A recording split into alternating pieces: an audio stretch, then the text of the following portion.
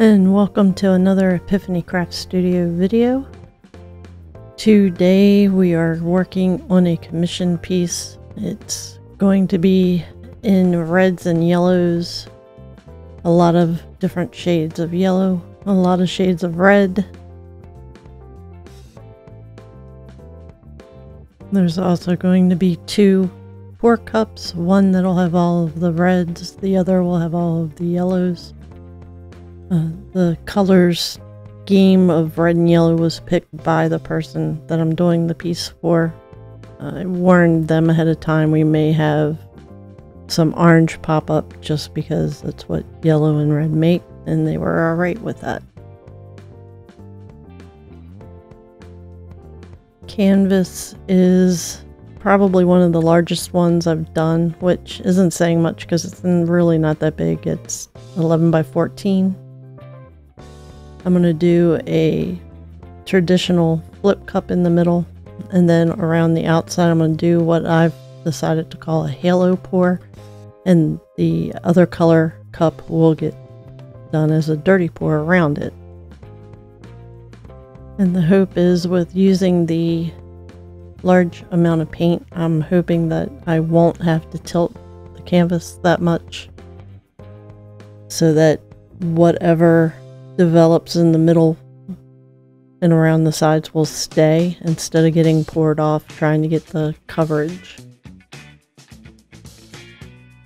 There are six different shades of red, six different shades of yellow. I have some gold, some white, some shell. None of the colors at this point have silicone in them yet. The paints have been pre-mixed a few days ahead of time.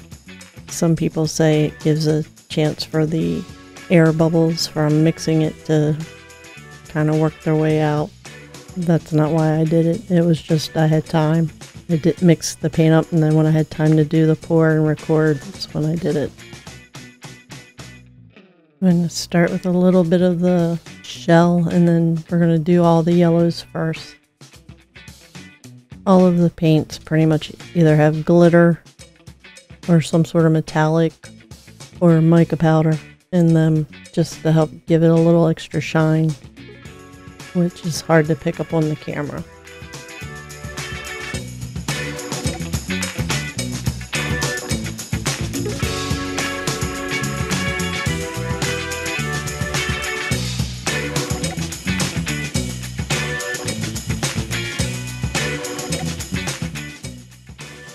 And really no rhyme or reason in how the colors were added to the cup. It's just what I grabbed and poured in.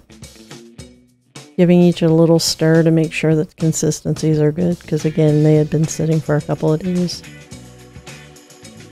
And I may have actually put silicone in when I mixed them up so I was probably trying to get the silicone back to not just sitting on top.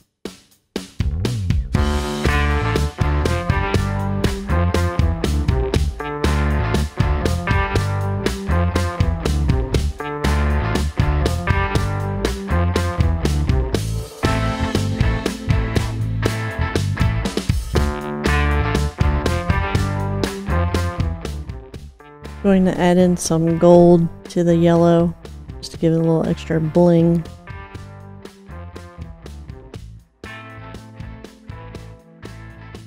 And here I'm adding a little extra silicone to that one because the gold tends to be a little aggressive so that's hoping that with the silicone added it'll help allow the other colors to come and rise above the gold same with the shell.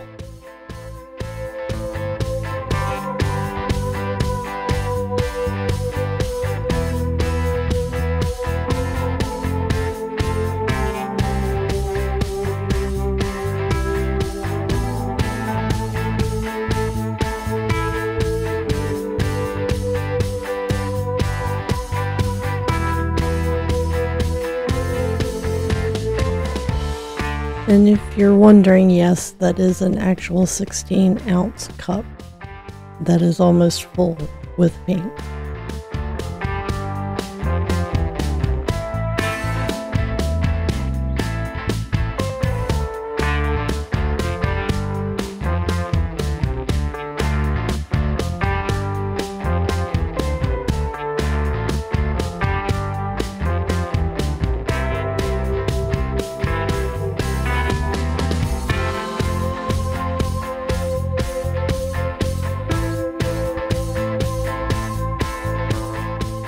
And I'm showing the pendant because that is what you can do with all the paint skin after you're done. You can take and cut it down, put it into a bezel, and then use some clear uh, resin to go over top of it, which helps give it like a third dimension. So while the paint may not actually be on the canvas, it's not being totally wasted either.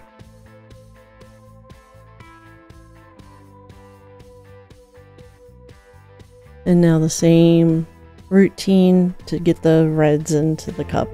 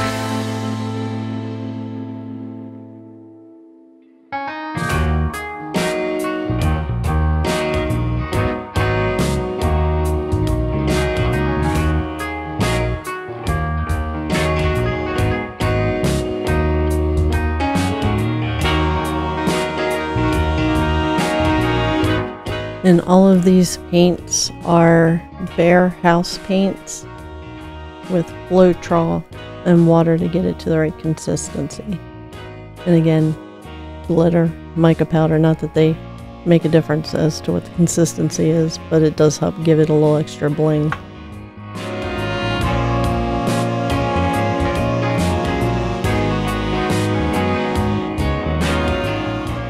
Alright, the trusty art bitch is off cleaning the containers, and yes, he chose that nickname. Leveling the canvas, making sure that I'm not going to have paint running off in one direction. Using a paint stir stick to prop up the one corner, adding an additional cup or two to bring up that side.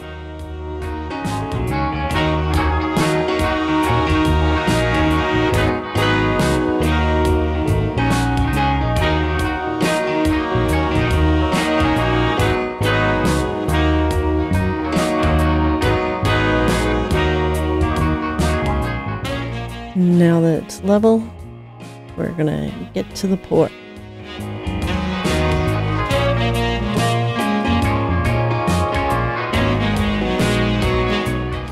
And yes, I have issues flipping it when it's big stuff like this, so trusty art bitch to the rescue.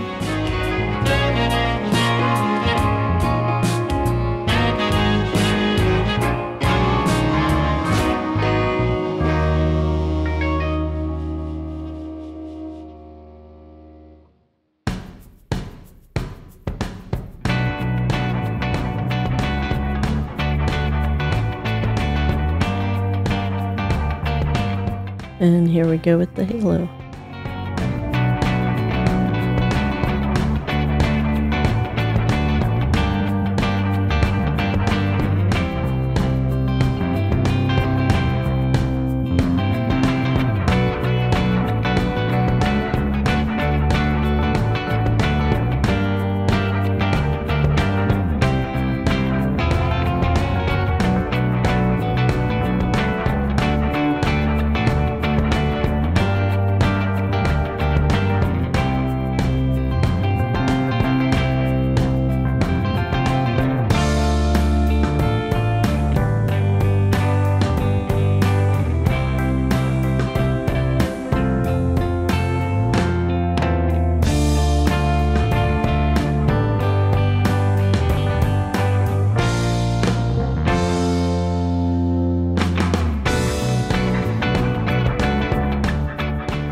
And the weight of the paint in the middle of the canvas is pulling it down.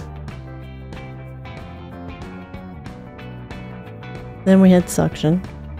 Never a good thing.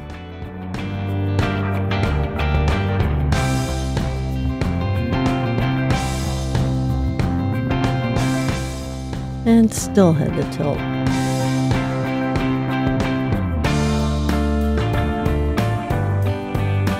Not too incredibly much, but still, it, it didn't quite do what I wanted to do.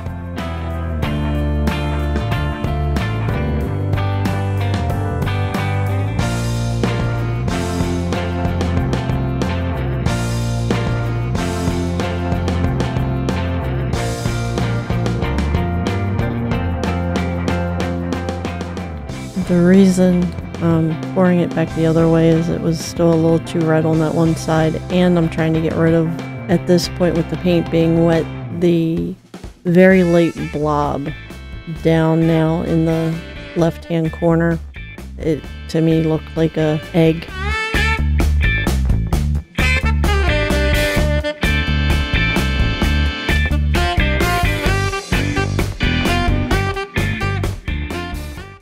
This is the cells I had before I even hit it with the torch.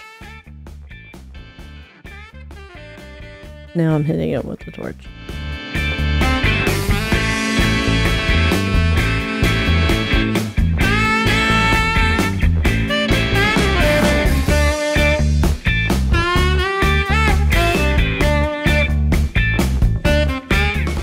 I sent pictures of this with the paint wet and once the paint was dry to the person who commissioned the piece and they were tickled with it. So luckily it's a done deal and didn't waste 32 ounces of paint. As you can tell, I'm sitting there looking at it because I am not happy with it. And I think it's mainly because it's not my colors of choice. I'm not a fan of red and I'm not a fan of yellow. So, trying to get some sort of break in some of this red because it's just. Yeah, just not happy with it because, again, not my colors. And from the camera, it's hard to tell just exactly how that looks using the stick. But in person, it really does make a difference, kind of pulling some of that yellow into the red.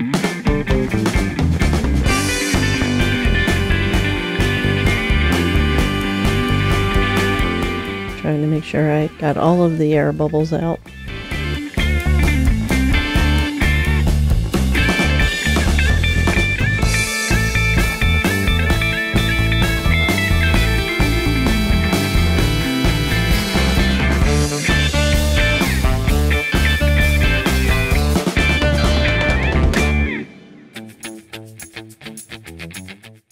And yes, that is the art inspector walking back behind me.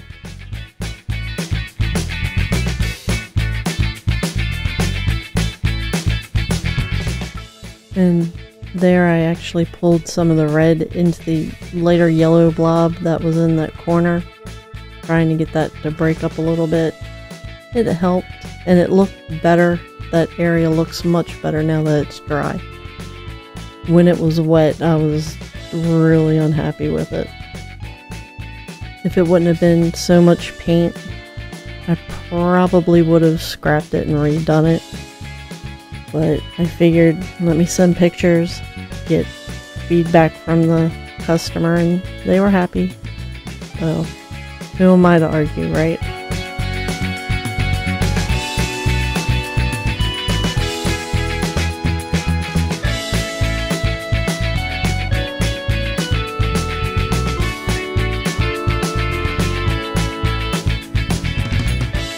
Thanks for joining me, and we will put some finished pictures at the end of the video.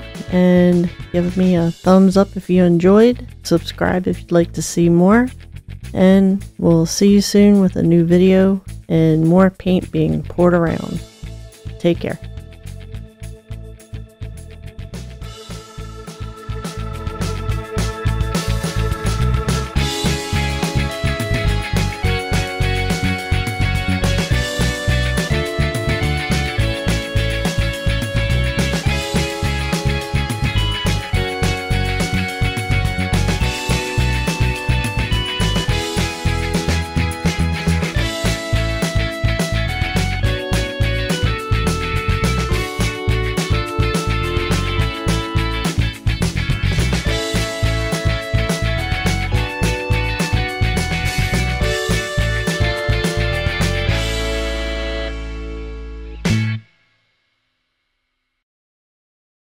Hi, my name is Lucy. Please give my mommy a thumbs up. If you do, I'll give you kisses. Go ahead, do it. There you go.